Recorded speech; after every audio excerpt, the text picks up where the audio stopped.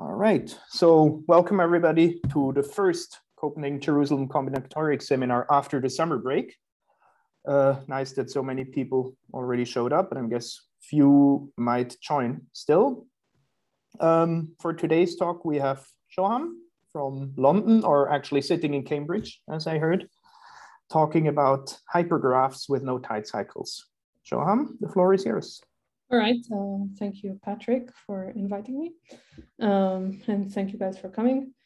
Um, right, so it feels like ages since I gave an online talk. It's been maybe a month and a half, uh, but this was an intensive year.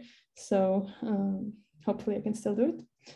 Anyway, um, right, so, so I'll be talking about hypergraphs with no tight cycles. Um, so to start, um, let's I'll remember this um, like easy fact from graph theory. Uh, so suppose I'm interested in constructing a graph which does not have a cycle, where a cycle is something that looks like this, right? Um, so the best thing that I can do in terms of the number of edges is um, is a tree. Oops. Um, right? So the best thing I can do is to have a graph with, well, the largest number of edges I can have without creating cycles. Um, on n vertices is n minus one edges, right? So here are some examples of trees. Okay, um, so assume everybody has seen this in some basic graph theory course. Um, but what we want to do is to try to generalize this fact or just try to um, understand what happens when we look at um, at the same question, but for hypergraphs. Right, so, okay, what do I mean by hypergraphs? I mean, um, so terminology that I will use is, um, I will say an R graph to mean an R uniform hypergraph. This is an hypergraph whose edges consist of R vertices right? So then our uniform hypergraph has a bunch of vertices and each edge is a set of R vertices. So for example, um, this guy is an example of a three graph. So I, the colors don't really mean anything. They're just to make it easier to see. All right, um, so, so these are my hypergraphs and here is the question what is the maximum possible number of edges in an R graph on n vertices, which has no cycles, right? So exactly, kind of trying to generalize this. Right, but before, before trying to think about um, the solution to this question, we really have to think about the phrasing of the question, namely, uh, what does it mean, a cycle in um, a hypergraph? So in graphs, it's sort of kind of clear what a cycle is, but turns out that in hypergraphs, you can make various definitions and um, you get, I guess, different answers to this question. Right, um, so we will be looking at kind of three main notions. I guess you can define some other things, but we won't talk about them. So the three notions are Berge cycles, loose cycles, and tight cycles. Okay, um, so what is a Berge cycle?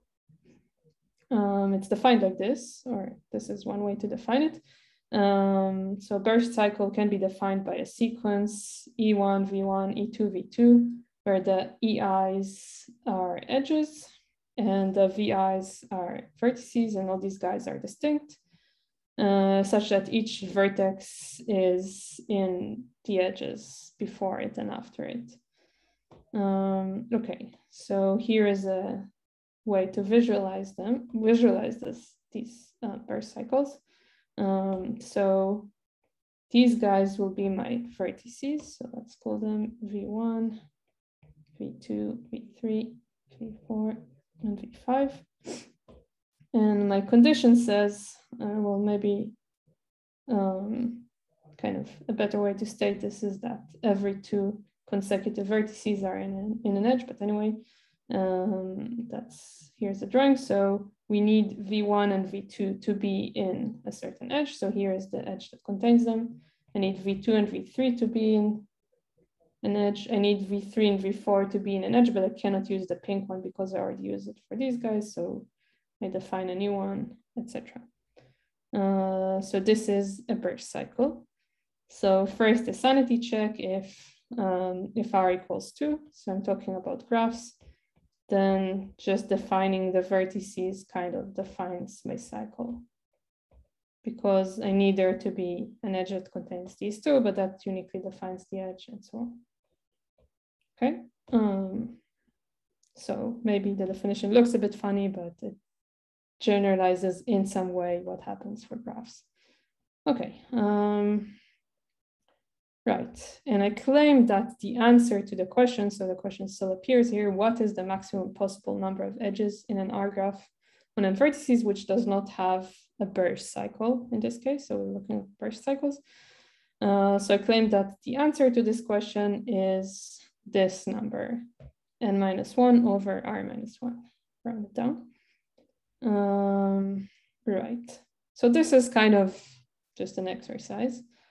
Um, so to see the upper bound, well, I won't prove this fact exactly, but I claim that it's not hard to see that if we have no Berge cycle, then I can order the edges um, as E1, E2, etc., such that each edge EI um, has at most one vertex in common with the previous edges E1 up to EI minus one. Um, so this is kind of similar to what happens with trees. It's, this, this proof sort of generalizes just what happens for graphs. Um, so maybe one reason why this is a nice notion to have. Okay, uh, so given this, let's just do the calculation to see that indeed this is the number of edges that we get. Um, right. So we have that the number of vertices is at least r for the first edge. So the first edge contributes r new vertices plus r minus one times n minus one. Um, so each of the, whenever I expose an edge, I know that maybe it has one vertex in common with the previous one, but other previous ones Sorry, could you um, go down just a little bit? We don't see the. Oh, sorry, sorry. Writing, no worries. Ah, wonderful. Thanks.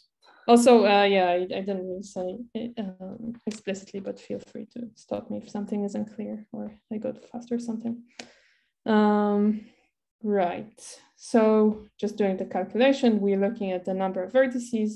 We know that the first edge gives us r new vertices and each of the Next edges gives us r minus one vertices because I know that every edge has at most one vertex in common with the previous ones. So it contributes r minus one. Um, okay, and then just rearranging this is, I guess, r minus one times n minus one plus one and rearranging, I get that. Um, sorry, like this. And rearranging, I get that m is at most n minus one over r minus one. And because it's an integer, rounded down. All right, um, so anyway, this is kind of looks similar to what happens for trees and also like to see the lower bound, what you get is things that look like trees.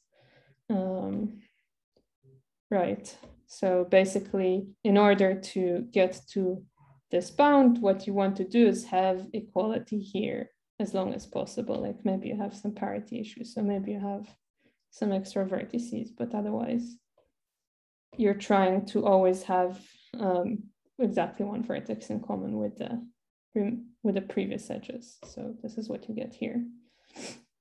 Um, okay, so Berge cycles are kind of nice because they just generalize what happens with trees and graphs.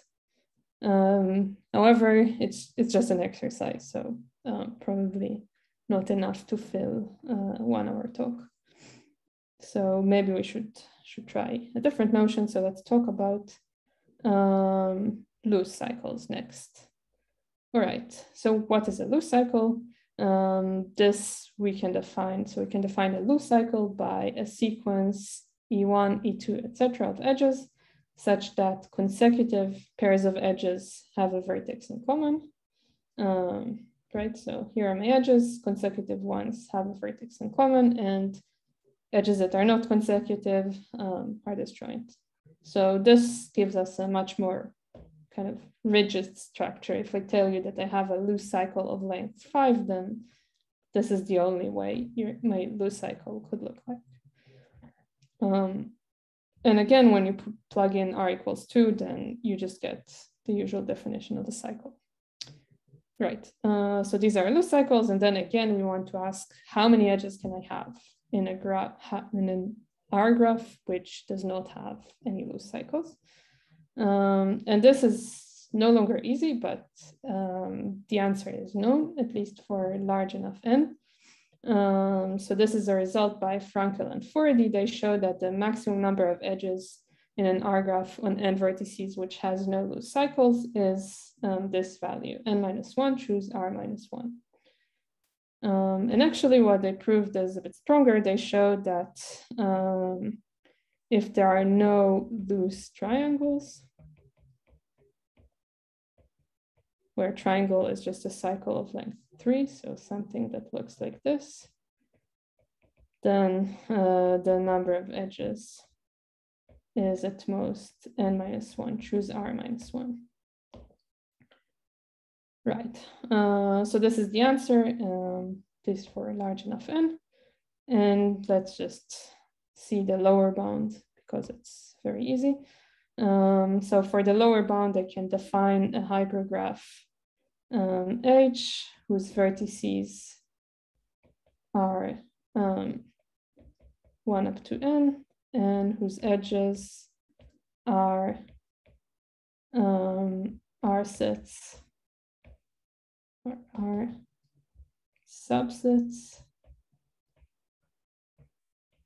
of um, vertices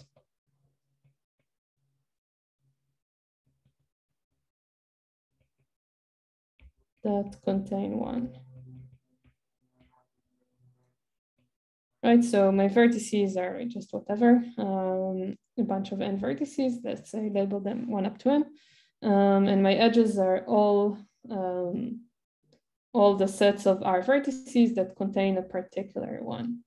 And then you can see like even for a loose triangle, you cannot, I mean, you won't have that all the edges contain one particular vertex. So indeed, this construction avoids um, loose cycles. And also um, we can observe that it's, it again kind of generalizes what happens for r equals two because um, this example for r equals two is just the star.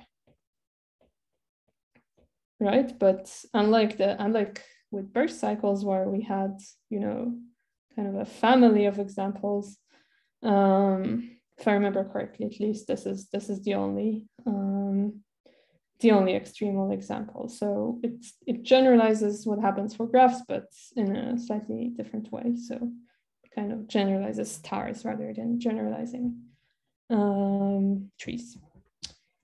All right. Uh, so again, this this is like harder than what we had in the previous slide, but it's known. So again, we should um, try to move on. So let's move on to tight cycles. Right. Um, so tight cycle uh, can be defined by a sequence V1, V2, and so on of distinct vertices such that every R consecutive ones uh, form an edge. So here I drew just part of a tight cycle. So I have my vertices, let's number them, um, V1, V2, and so on. And I want every three consecutive ones to form an edge. So one, two, three, form an edge, two, three, four, form an edge, um, and so on. Like I go around and I only didn't draw everything because then it would be harder to see. All right, so kind of similar to a tight cycle, but here we don't skip vertices, we fill everything up. Um, good.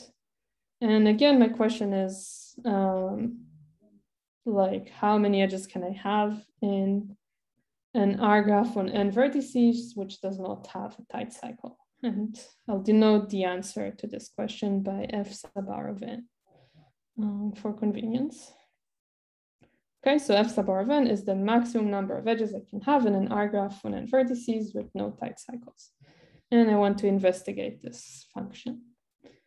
Okay, um, so this is a bit of a longer story. So let's start in a new slide with the lower, lower bounds. Um, and the first thing to observe is that we have we can have the same bound, same lower bound as we had for loose cycles. Uh, so this n minus one, choose r minus one is again a lower bound for this function. Um, and the proof is the same as before. Just write down this graph on n vertices where all whose edges are all are sets of vertices that contain a particular vertex. Um, and again, this, this thing won't have any tight cycles. Okay, um, but is this best possible? So it might be kind of tempting to say, well, maybe it is because that would be nice. That would again generalize what generalize what happens um, for r equals two. And indeed, um, and Verstraëte independently both uh, conjectured that um, this function f sub r of n should be n minus 1 choose r minus 1 for large enough n at least.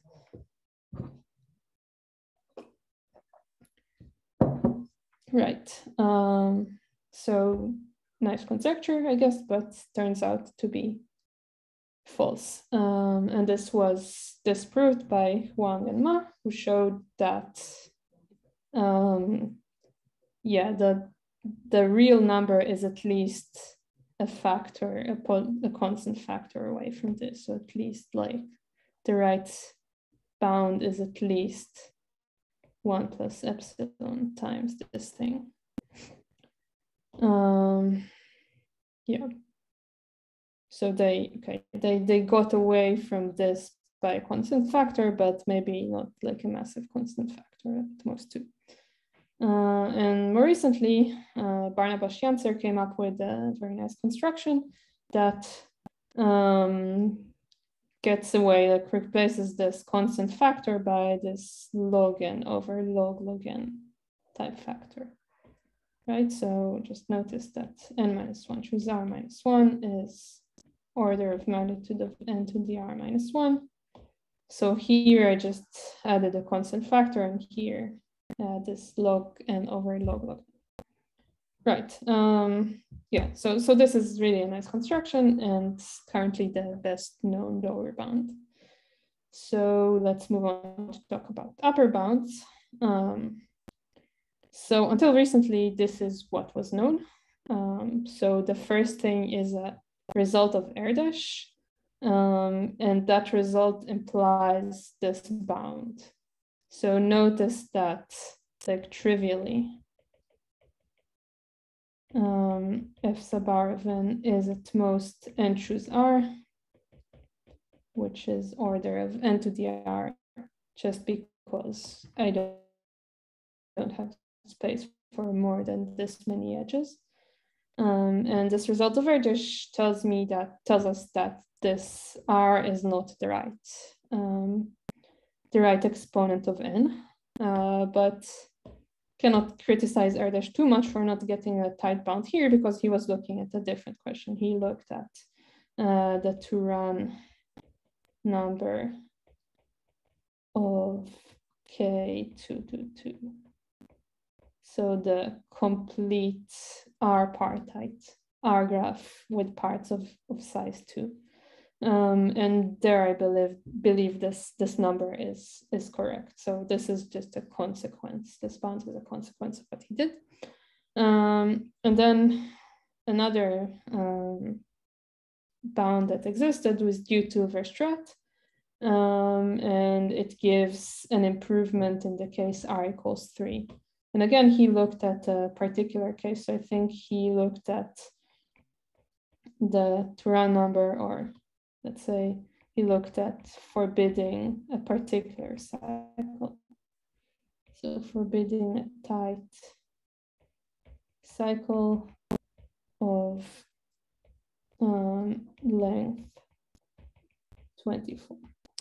Anyway, right, so, so this is what was known, I guess not very much in terms of the upper bound um, until pretty recently when uh, Benny Sudakov and Istvan Tomon proved the following. They showed that f sub r of n is at most n to the r minus 1 times this uh, lower order term e to the constant square root n. All right, so this thing is like n to the little o of 1. And since we have a lower bound of roughly n to the r minus 1 and an upper bound of roughly n to the r minus 1, this kind of tells us, uh, well, this tells us something about the behavior of f sub r of n, or in other words, at, at least more precisely, tells us what the right exponent of n is. So it tells us that f sub r of n is equal to n to the r minus 1 plus a little of 1. Good. Uh, so now we kind of know quite a lot more than before about this function. And my contribution is to, um, well, improve this. So here is my bound. Um, I can show that f sub r of n is at most some constant times n to the r minus 1 times uh, log n to the 5. Um, which, yeah, which is relatively close to this. So we still have like a polylog factor between the best known upper bound and best known lower bound. Right, uh, any questions? Good, so um, what I want to do next is to talk about the proof of this.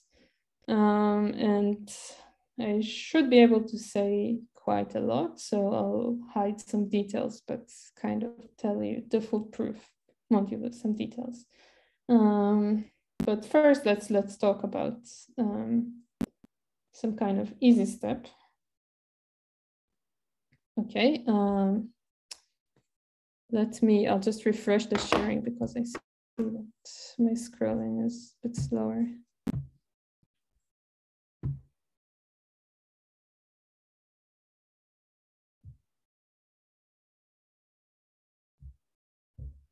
Right. Um, okay, so so let's talk for a bit about R partite R graphs. Uh, so I haven't written the definition, but I kind of drew it. So an R partite R graph is um, has a partition. It has a partition of the vertices into R sets Okay, so an R-partite R graph comes with a partition of the vertices into R sets and every edge,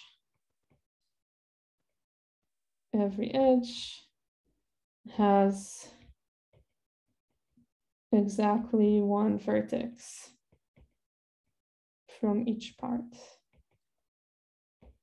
Okay, so very similar to bipartite graphs, kind of generalization of that. Um, okay, um, and here is uh, an easy claim. Uh, so suppose that I have um, a, an R graph on M edges, then I claim that this R graph contains a sub-hypergraph H prime on um, at least this many edges, so a constant factor away from M, which is R partite. Okay, so the proof is as follows. Um, I'll write some of it. So pick randomly a partition A1 up to AR of the vertices of H and take H prime to consist of edges that intersect each AI in exactly one vertex. Okay, um, so that's effectively the proof. Just take a random partition, take the R-partite R graph uh, sub hypergraph that um, is formed by this partition and just check that the expectation expected um, number of edges in H prime is equal to this thing. Okay, uh, so standard um, probabilistic trick. But what that means is that basically if, since we don't care about constant factors, like we're not anywhere near nailing down the constants, uh, we don't care about losing constant factors. So we can always assume that our R graphs are R-partite. So um, our aim becomes the following. Suppose that I'm given an R-partite R graph with, uh, I'll, I'll, denote its partition by A1 up to AR on n vertices, which has at least this many edges, d times n to the r minus 1, where d is at least this large, at least some large constant times log n to the 5. Then uh, I want to show that my H contains a tight cycle and that that would prove um, yeah that would prove my theorem because if I start with just an R graph which is not R-partite I can lose a small lose a constant factor and get my R-partite R graph which has no cycles. All right. Um, right, so this is my aim. Now, um, just a little bit of notation that comes from this. Uh, so it will be convenient to, given an edge, to represent it as an R tuple x1 up to xr, such that xi is in AI. So this is a convenience of having this um, partition, like it gives me an ordering of the vertices in an edge. Um, and then I'll say the following, given an edge E, um, which is equal to x1 up to xr, and an edge f, which is y1 up to yr, then a tight path from E to F is a tight path that starts with E and ends with F, um, and starts, by starting with E, I mean starts with these vertices in this order. So this is, I don't know if it will be really easy to see, but it, in, from the proof, but this is important to have this um, notion of like ordering of the vertices. So again, I say that I um, have a tight path from E to F. If I start from E, so this is my E, I have a tight path that starts from E, ends at F, and this is in order. And the reason this is, so this, this order thing is important is because if I have a path P uh, from E to F and a path Q from F to H, then I can concatenate them uh, to get a path from E to H, well, assuming I don't have repetitions, right? So I would have a tight path going here and a tight path going here. And assuming I don't have some vertices that repeat here and here, then this concatenation would give me a tight path. But for this, yeah, it's really important that these guys come, are in the same order in the path here and the path here. Good. Um, okay, so before talking about my proof, I'll talk a bit about um, what Benny and Istvan did. Um, and this is related to a notion of expansion. Okay, uh, so this is, I guess, um, like a, yeah, like a main lemma in their um, their paper, which is really not stated in this form, but I think this is better, um, well, easier to explain anyway. Right, so what I showed is that given um, my age, which is an R-partite R graph with many edges, I can find within it a subhypergraph G such that um, for every edge E in G, and every small set of vertices B, which for technical reasons is disjoint of E. Um, then, okay, so given an edge and given, let's, let's maybe do a drawing.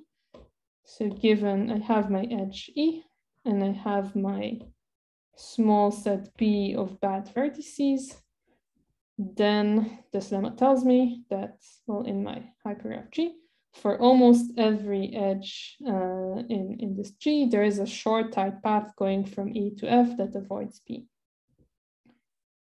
Right. Um, so let's try to draw this. Okay, so here is my edge E that I want to start with. Here are some vertices that I don't like and I want to avoid. And what this lemma tells me is that for almost every other um, other edge F, there is some way to walk from E to F via a short tight path. Okay, so this is, I mean, the reason, okay, they, they define expander in a kind of more formal way, but but this is a notion of expander. Like I, from any particular edge, I can reach almost every other um, edge in my hypergraph, and even with the robustness where I can avoid the small set of vertices. Okay, um, so, so this idea of using expanders is um, not new. So this happens many times that you have some kind of, you start with some kind of uh, graph with large average degree, and then within it you find an expander, and then within it, you find a certain substructure that you like. So maybe like a minor or something. Um, and there are, there are like standard proofs for finding an expander. Uh, but in this case, well, obviously these are not graphs anymore. These are hypergraphs. Uh, so you need to be a little bit clever in order to be able to use the kind of standard techniques for finding expanders here. Um, so I'll say very little, but just a few words about this. So what they do is they define a notion of R-line graphs, uh, which are just graphs that are associated with these hypergraphs. And they're kind of similar to line graphs, if you know what they are, uh, but they take into account this R-part tightness. And then they, like this is maybe the clever bit where they define a notion of density that I won't, I won't explain, but that notion of density uh, works well with this standard technique. Um, and they define expanders for these R-line graphs, and that basically translates to this lemma. Okay, um, so they have this. quick question, sorry. So, yeah. so in this lemma, so which, so this hypergraph is an expander or or in general like what is yeah yeah yeah right. I didn't i didn't define. So this basically this graph g will be my expander. Um yeah you're, you're right. Good question. Um and yeah. So basically yeah this goes like the usual things. I have some graph or hypergraph with many edges. Within it i find like a, a nice sort of a thing that expands well which would be my g and then I try to work within this expander. Okay, uh, and the definition of expander they are using is given in the in their article, right? Okay. Yeah, they're using. Yeah, they really don't define it. As, they define it via these R-line graphs, but I just okay. didn't. Okay. I didn't want to go that route. Sure, sure. Okay. Yeah, yeah. Sorry. Yeah, I'll take a look. Yeah. Thanks. Uh, yeah, I, I didn't want to go that route because that no, means okay. defining a lot of things. Um, okay. Anyway, yeah. So I call such a G an expander. I didn't so by such a G, I mean effectively this. Uh, so from every, I can, from every edge, I can reach almost every other edge via a short tight path while avoiding a small set of vertices. This is for me an expander. Um, okay, but, but what their definition is effectively, I think the same, just restated in the notion of line graphs. Anyway, um, so they have the expanders and then they want to work with them. Um, so normally the hope is to take your expander and find your thing within it. And that's what they kind of set out to do, but doesn't exactly always work.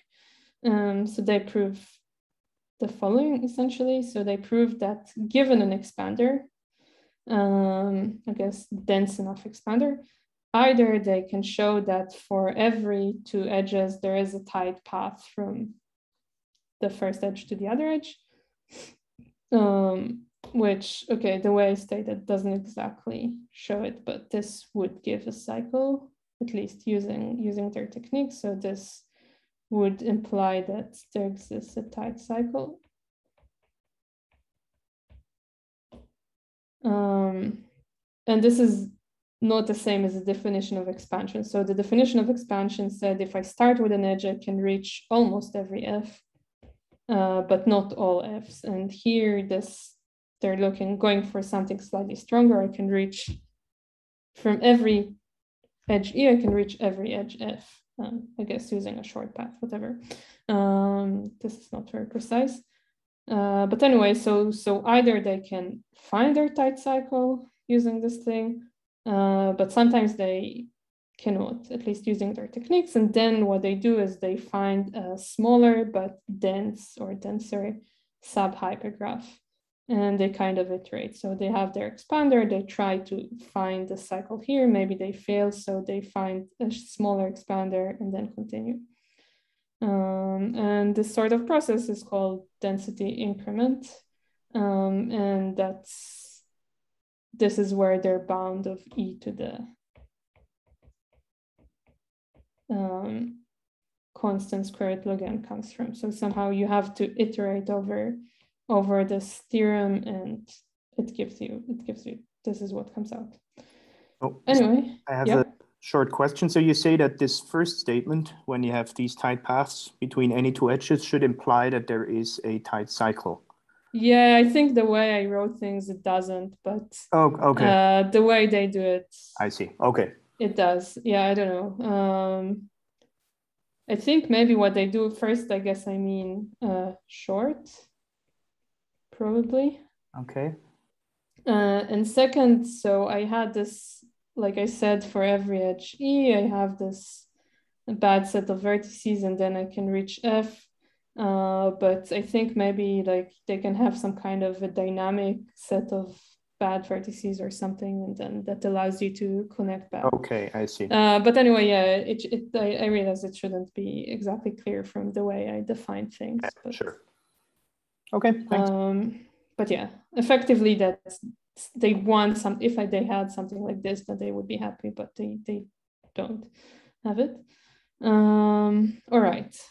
So what I managed to do is effectively eliminate this uh, density increment. So I show that if I'm given an expander, directly within it, I can find my tight cycle. I don't need to, uh, like, I don't have this failure of I don't have a failure mechanism that goes into um, finding denser subhypergraphs.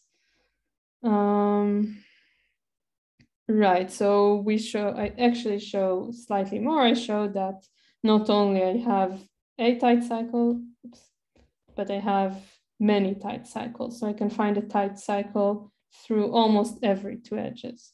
Um, but I don't manage to prove this. So this is actually not still not clear if you can literally connect any two edges.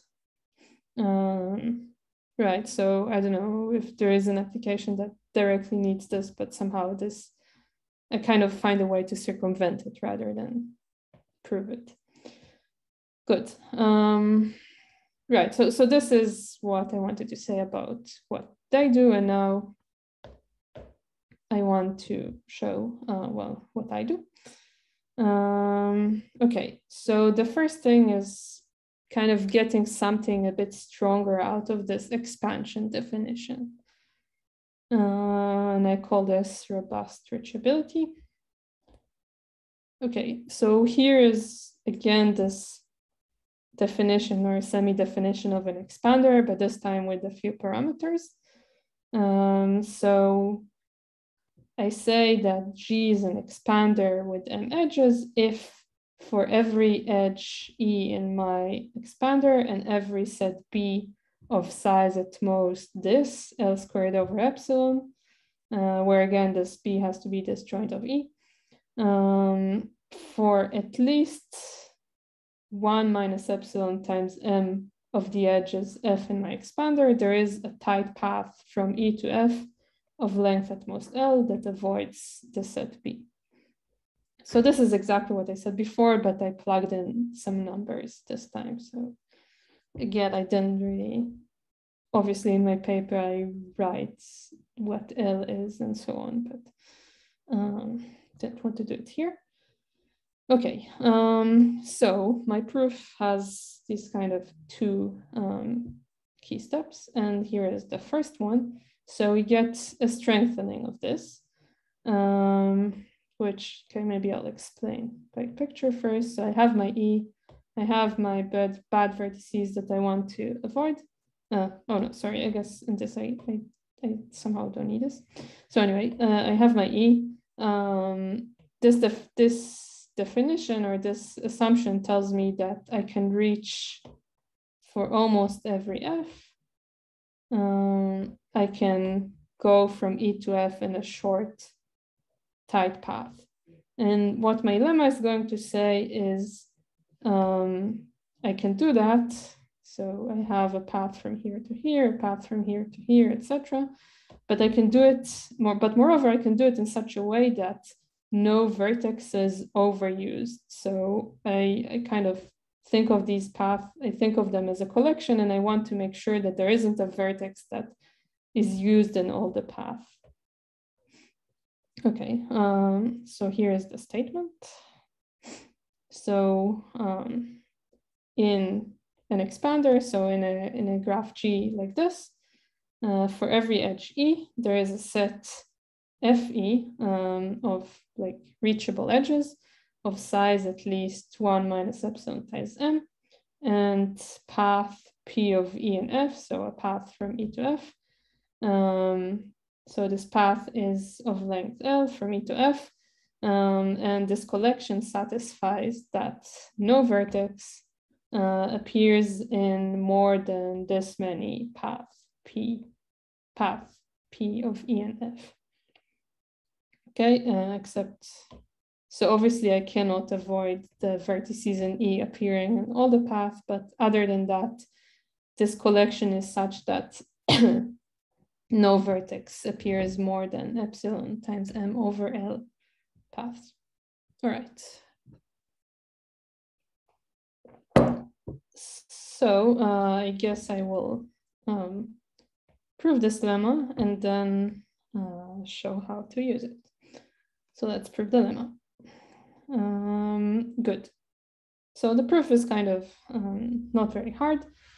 What I'm going to do is just take a maximal collection f of e that um, satisfies this, namely it has this collection of path where no vertex appears too many times.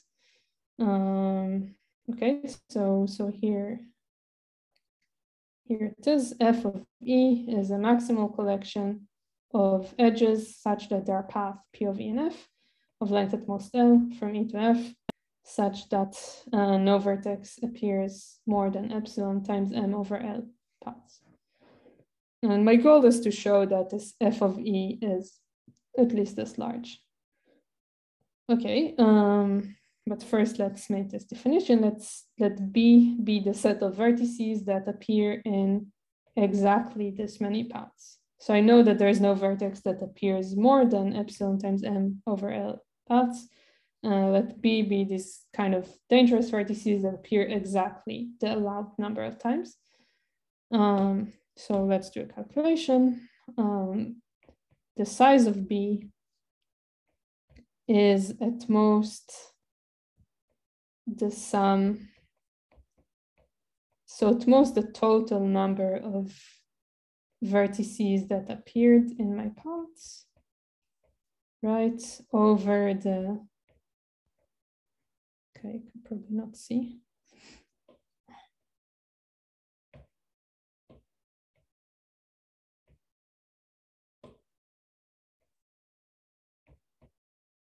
right? So, okay, so again, the, the set of vertices that appear exactly this many times is at most the total number of vertices that appeared on my paths over this um, number, like allowed number of times.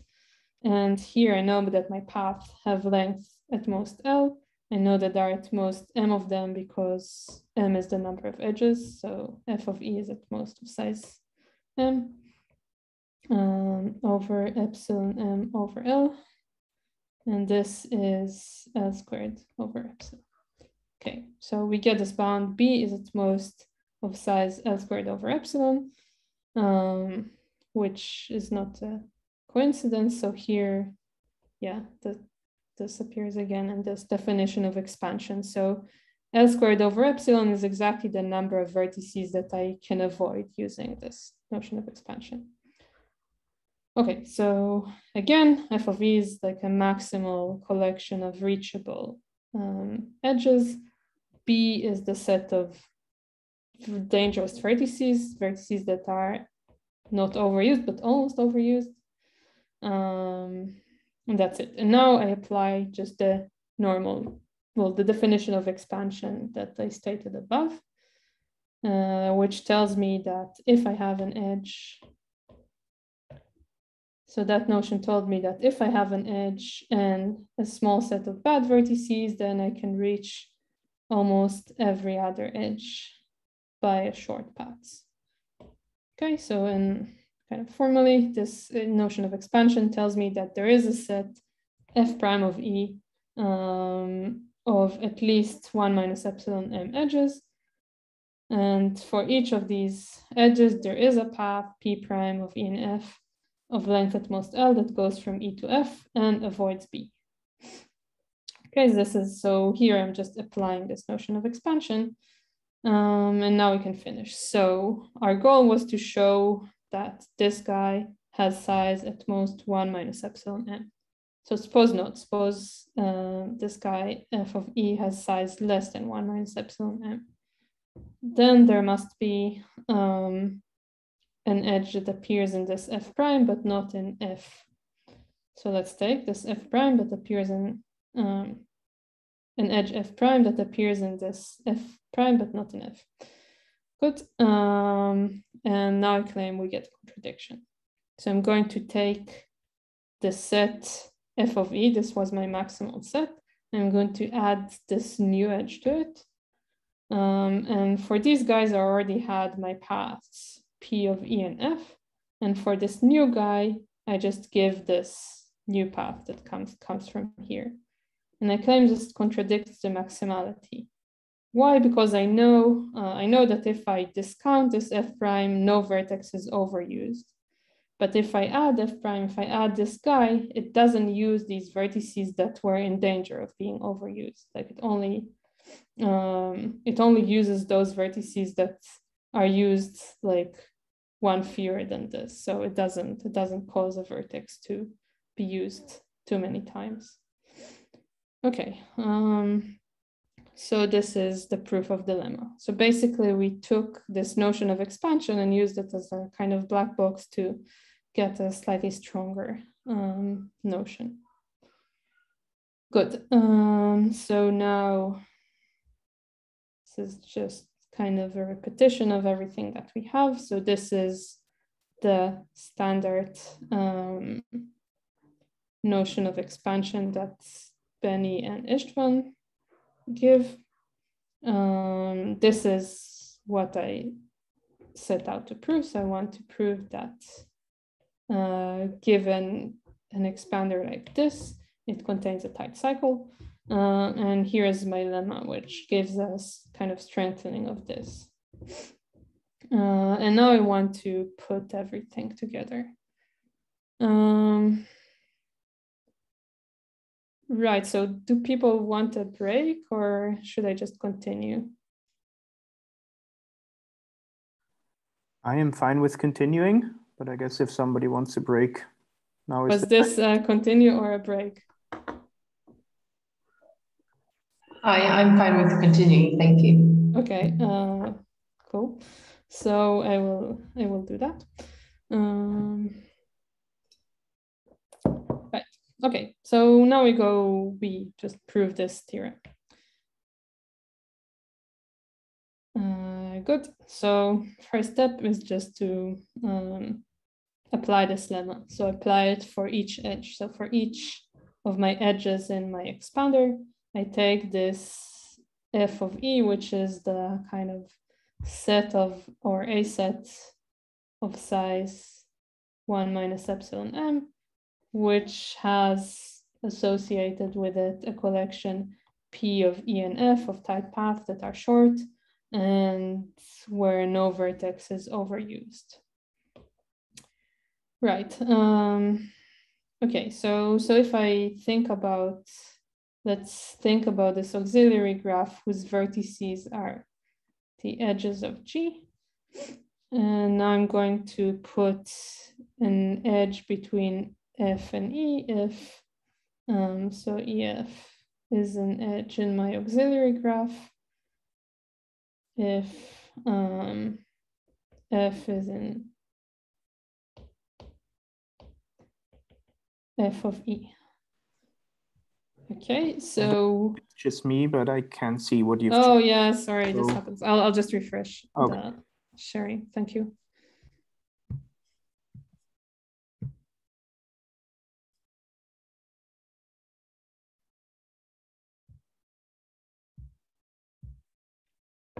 Yeah. Thanks. Yeah, now I see uh, it. Thanks. Yeah. Okay. So again, um, let's say I just do I, I write this auxiliary graph where I put an edge from E to F. If um, F is an F of E, then what what this tells me is that that if I look if I start with my E and I look at its um, out neighborhood, well, first I know that it's large, so this this digraph is kind of um, super dense. But also I know that if I look at the paths associated with these edges, each, each of these edges is kind of associated with this path. P E of F, then I know that no vertex is used too many times.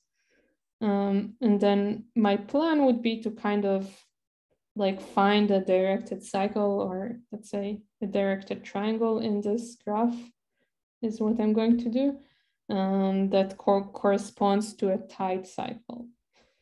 Um, and the kind of problem, like if you try to play around with this definition, the problem that you uh, might arrive at, or that at least I arrived at as that if I, instead of looking at the out neighborhood, I look at the in neighborhood, so I know this graph is super dense, so almost every vertex has very large in neighborhood. So now I look at F and I look at its in neighborhood. It's no longer true that uh, if I look at the paths associated with these edges, somehow they won't have this property. Like it could be that there is one vertex that is used in all these paths. And that's somehow inconvenient. When I also I don't to... see the screen right now. No, this is this is a bit annoying. Uh, yeah, thank you.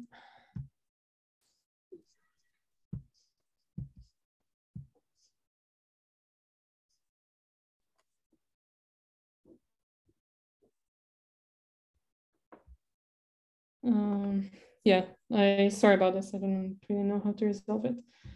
Um, other than just restart the sharing. Anyway, right. So um, yeah, talking about an out neighborhood, I know that path associated with outgoing edges have this kind of nice property that no vertex is used too many times. Unfortunately, the same cannot be said about in neighborhoods. And when you try to sort of chain these things together, lap around, that's a problem. Um, right, so the way to overcome it is um, as follows, or that's the first step. So for an edge f in my graph G, I look at, so I will look at these in neighbors and I will identify those vertices that are overused. I cannot, like there may be some vertices like this, but I'll just um, identify them, put them in a bag and, um, and that will be helpful. Okay, so I have my f which is an edge in my expander, I define B of F to be the set of vertices that appear on um, at least epsilon m over L path P um, from E to F.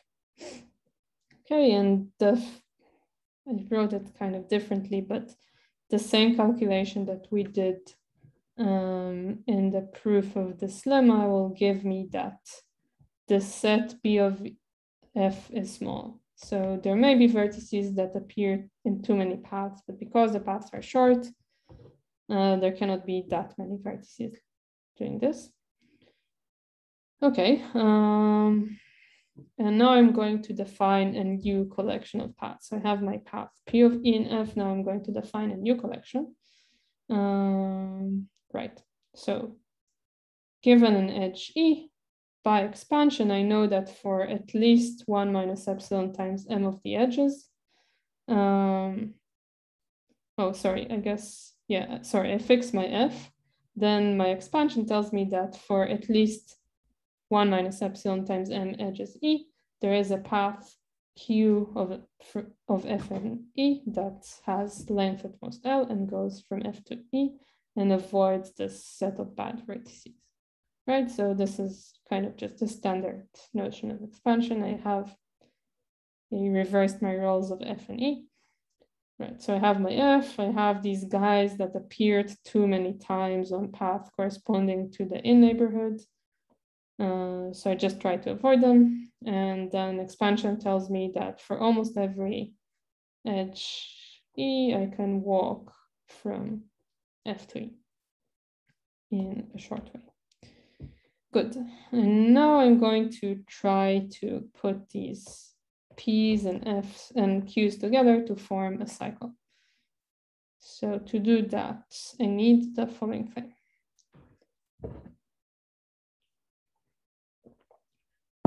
Right, so the claim says that for almost every pair E of E, e and F of edges uh, in my expander, I have that Q of F and E is defined. And also um, there are many edges H such that both P of E and H is defined and P of H and F is defined. And also I can put them together to get a tight cycle.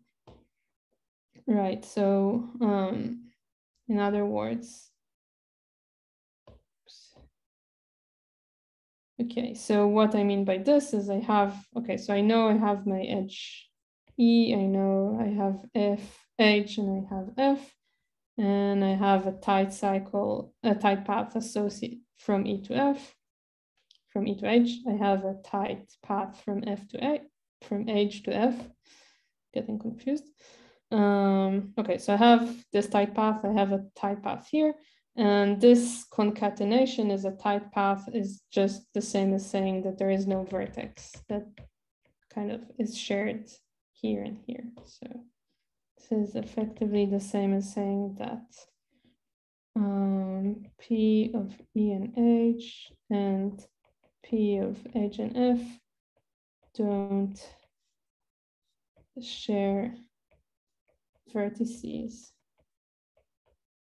outside of H.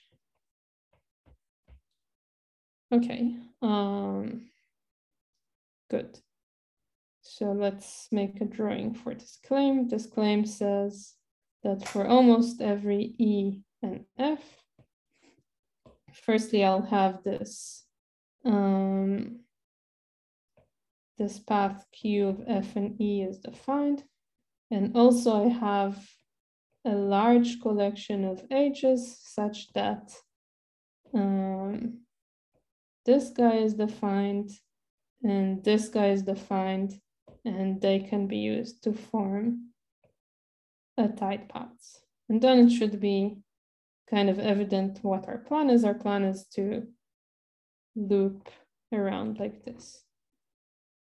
Okay, um, so this is the claim. So we have no, okay, I guess I made the drawing trying to explain this. Um, right, so what we have to do is two things. First, we have to prove the claim.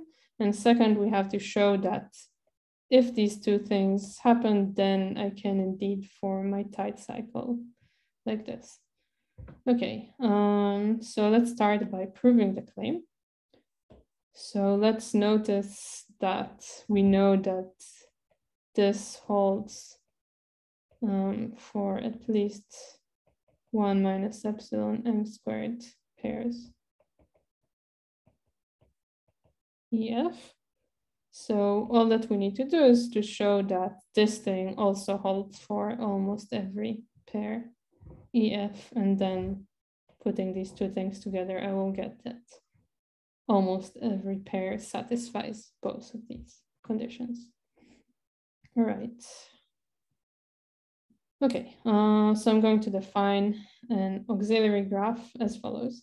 So this is, I fix my E, I define D of E to be a digraph whose vertices are the edges in the expander, and HF is an edge whenever um, essentially this happens. So whenever P of E and H is defined, P of H and F is defined, and I can put them together to form a tight path.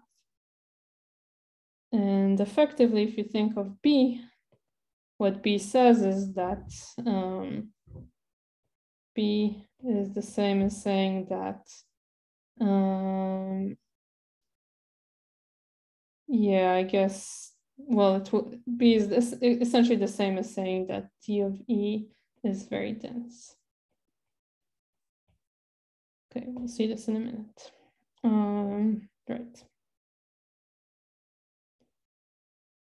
Okay, um, what's happening here? So I'm going to look at, um, okay, I want to show that this guy is dense. So let's look at just an the out degree of um, an edge in this graph.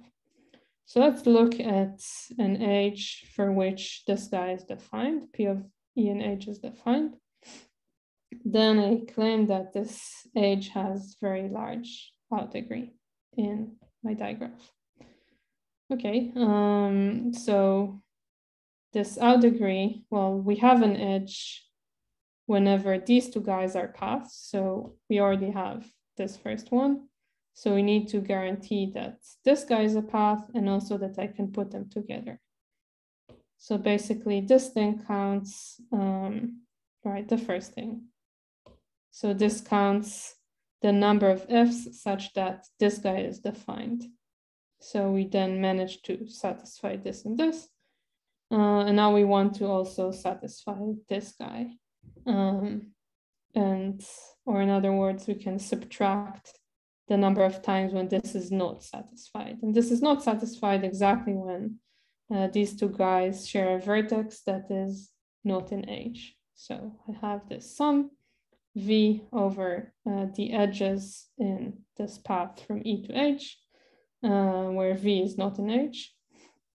And I'm going to count how many f's are such that v is in P of H and F. Um, and here's where we use this robust reachability. Okay, so I have, this is my path from E to H. Um, and let's say I picked some vertex here. So I picked my V and I want to say, well, I want a lower bound, an upper bound on the number of Fs such that this V is contained in this H of F. Okay. But this is- Sorry, there's no writing again. Thank you. Um.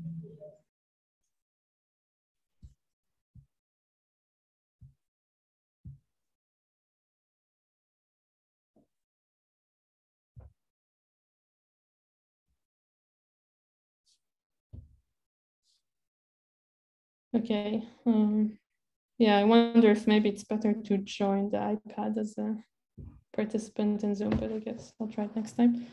Um, all right, so I fixed my V and I want an upper bound on this number, but this is exactly like the upper bound that we had before. So we chose our collection of these paths going out from H in such a way that no vertex appears many times So this is this is exactly where I need this robust reachability.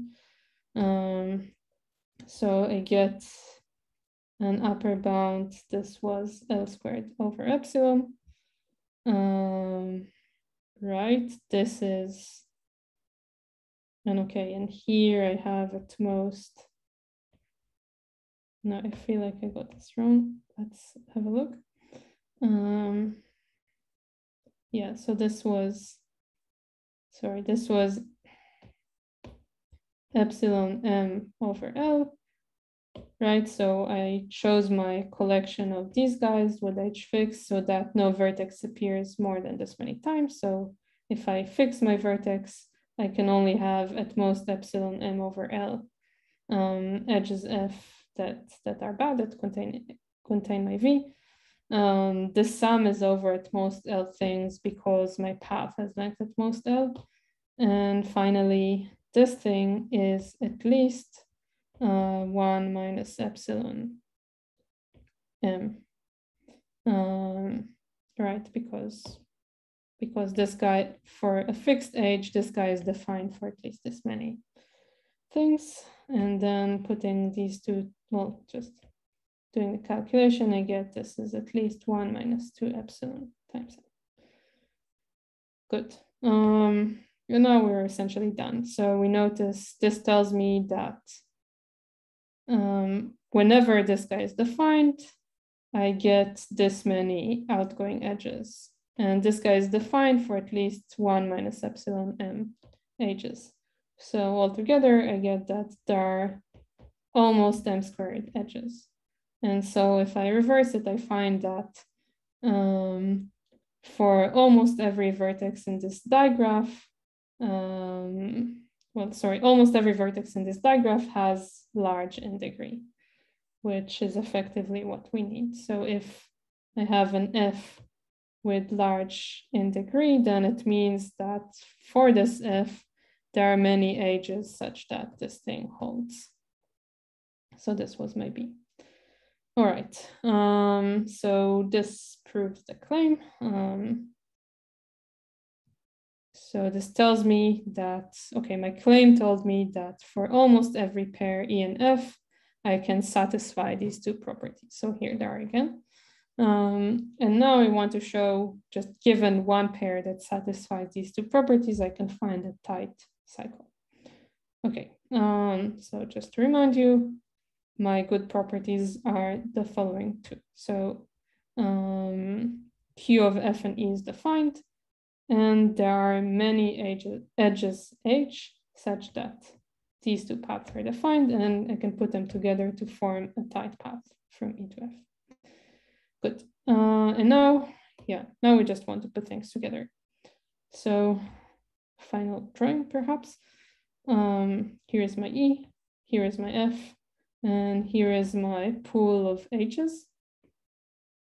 Okay, um, so I want to do this looping around. So I want to collect a path like this, a path like this, and a path like this, and put them together. So I have to start, I kind of have no choice. Okay, I guess let's, let's call this. Going from F to E, I have no choice. I just take this Q of F and E. But here I have a lot of choices. And using these choices, I will make sure that I don't don't repeat vertices, and that's how I get my tight tight cycle. So I need to find an edge in here such that um, this guy P of E and H doesn't repeat vertices here, and also that um, this guy, P of and F, doesn't repeat vertices here. Good. Um, so, so let's make sure we can do that. Okay, so I have my fixed path here, which has L vertices. Um, and so in order to make sure that this, this purple or pink part of the path is good, it doesn't repeat anything, uh, it just means that I have to avoid L vertices. But this is this we can do again by this robust reachability property. So I know that there are at most for each vertex um, in this path Q of F and E, there are at most epsilon M over L bad path, bad edges, um, right? And since I have L vertices in my path Q, then in total, I have at most epsilon M bad edges H in the sense that this part might intersect with this part, right? Because the outgoing path from E are have this robust property, no vertex is overused. Okay, um, but as I said initially, we have this kind of annoying thing that the same cannot be said for ingoing edges into F. However, the way we chose Q is kind of saves us here, um, right? So Q is chosen to just avoid the vertices that are overused here. So if I have a, any vertex that I have in my Q is not in, so if I have a vertex here, it's not in B of F. So it's not in the set of vertices that are overused here. And so for every vertex here, it is such that it appears in at most epsilon m over L ingoing edges. Okay, so every vertex again rules out at most epsilon m over L. We have at most L vertices in my path. So altogether, I have at most epsilon m edges H that are bad in the sense that this bit intersects this bit. Um, and that's it. So I have I have a pool of at least m over two edges. I ruled out at most two epsilon m, and so assuming epsilon is small enough, I get many age, many ages that can be used to complete a cycle like this. Um, and this, this completes my proof. Okay, um, so just to finish, I want to say that um, this proof can be used to prove other things. So I'll um, say them kind of shortly. So these other things are already known, um, unfortunately for me maybe, but they give a different proof to the existing one. So the first thing um, says the following. So suppose I'm given a properly edge colored graph. So this means that edges that share a vertex have to have different colors. And suppose that this graph has n vertices and at least some constant times n times log n to the five edges then this properly colored graph contains, has to contain a rainbow cycle. For a rainbow cycle, I mean that all edges um, have distinct colors like this.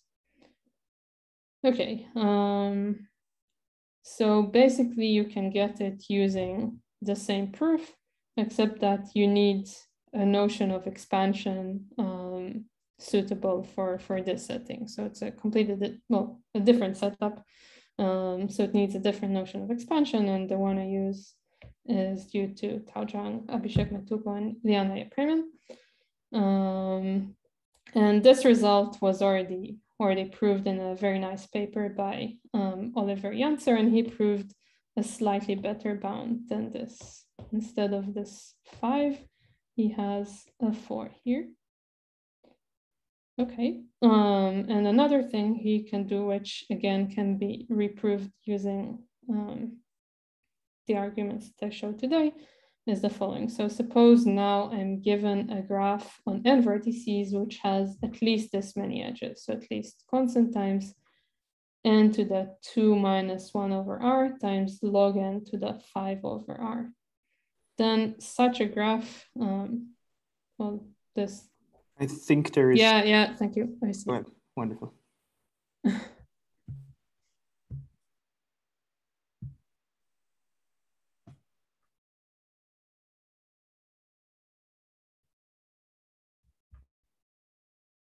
Right. Uh, thank you. Um, so again, I have a graph with this many edges. I claim that this graph has to contain an R blow up of the cycle, where an R blow up of the cycle is something that looks like this. I take a cycle and I replace each vertex by an independent set of size r, and each edge by a complete um, by a KRR, a complete bipartite graph.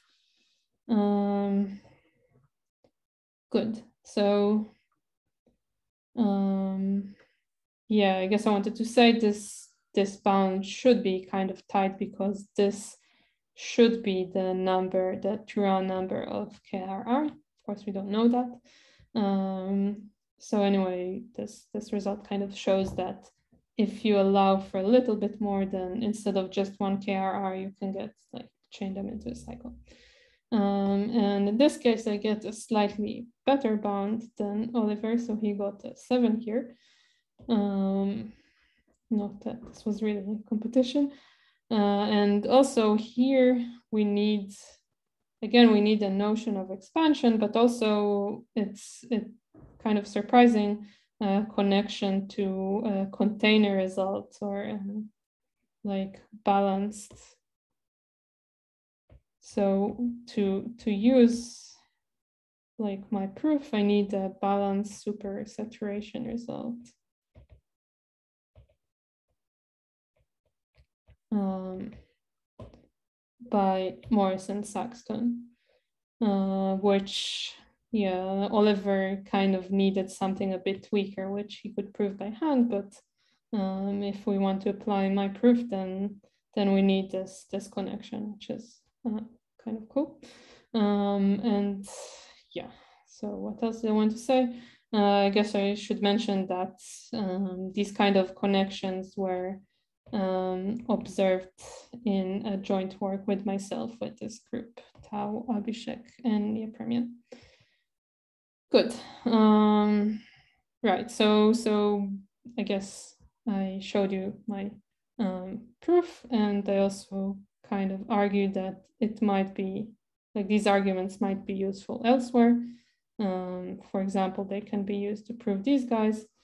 Uh, so just to mention, I, I said that this this is very different to what Oliver does. So what Oliver does, he's he kind of counts um, like homomorphisms or you can say that he counts um, closed walks of given length. Um, so this is very nice and also kind of a useful thing that we used in this uh, paper, but um, it cannot really handle a directed setting. So he couldn't really apply his stuff to these tight cycles. All right, um, so now I'll just mention a couple of open problems. So first, just a reminder of um, what we are talking about. So f sub r of n is the maximum number of edges in an R graph on n vertices, which has no tight cycles. Uh, so the best bounds are lower bound is by Barnabás Janzer of um, roughly n to the r minus 1 times log n over log log n. And what I get is an upper bound of n to the r minus 1 times log n to the 5. So would be interesting, probably hard to determine where we lie. And I think probably if you go the direction of expanders, then you're never going to get a tight bound. Maybe you can improve it a little. Uh, right. So this is about forbidding all tight cycles. Now you can ask like a very natural question, what happens if we forbid a certain like cycle, a certain cycle length? Um, and this was indeed asked by David Conlon. Uh, and he asked the following question, is it true that there is a constant C that depends on R such that um, if I forbid tight cycles of length L, where L is larger than R and divisible by R, then um, I cannot have more than n to the r minus 1 plus constant over r. Okay, so we really need this divisibility condition because otherwise just taking an r partite r graph would have no cycles, I mean, if, if L is not divisible by R, then we can have very dense graphs that do not contain tight cycle of length L. So we kind of are forced to talk to have this divisibility condition. Um, and this is trying to emulate what happens for graphs. So for graphs, um, we have, I guess, a one here. And I probably meant this. This probably typo should be an L here. Okay, so this is kind of asking, well, it seems it seems hard to determine the extremal number of a tight cycle of length L, uh, but maybe we can not quite determine, but still get something that well, uh, like a bound that looks a bit like what happens for graphs. Um, yeah, I don't know. I, interesting question. I tried thinking about it, didn't really get anywhere. Um, and finally, like these rainbow cycles. So let Gn be the maximum number of edges in a properly edge colored graph on n vertices with no rainbow cycles. Um, so what can we say about this? Well, what I said in the previous slide essentially shows that this g of n is most constant times n times log n to the 5. And we have an upper bound of constant times n times log n, which, okay, you can, you can get it quite easily using a hypercube. Um, and these guys, Keevash, Mubayi, Sudakov, and Verstraëte got a slightly better bound, like improved the bound that you get from a hypercube by a constant factor. Um, but yeah, like very interesting question um, to, to improve. I guess the expectation is that this is the correct bound. Um, but again, probably hard. Right, um, so this is everything that I have. Thank you. All right. Thank you very much. Do we have any questions?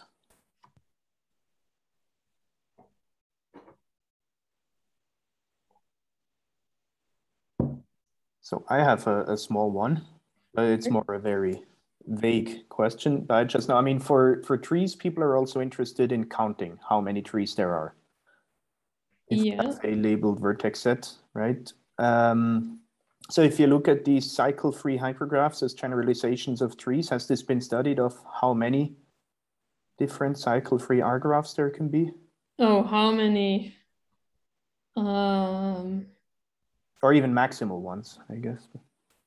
Yeah, uh, good question. I mean, I don't know. Okay. But yeah. it's no, it's a reasonable question, or all these counting things make sense, but I, I don't know not really. Yeah. yeah, I don't know. All right.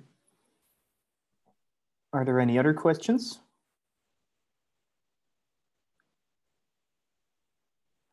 I guess not. In that case, thank you again, Shoham. I will stop